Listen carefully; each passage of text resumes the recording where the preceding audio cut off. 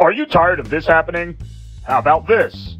And when was the last time this happened to you? Where the fuck is my pen? That's because you're not wearing emoji headbands. Emoji headbands come in three amazing colors gray, camo, and black.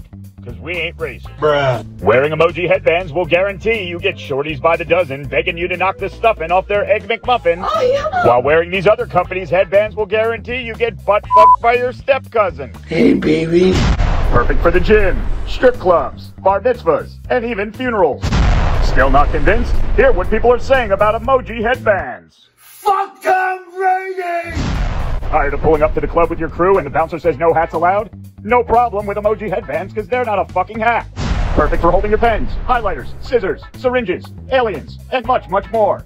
Order today and we'll throw in free steel supplement samples. There's also a money back guarantee if you're not completely satisfied. Just package up any unwanted emoji headbands and send it to These nuts.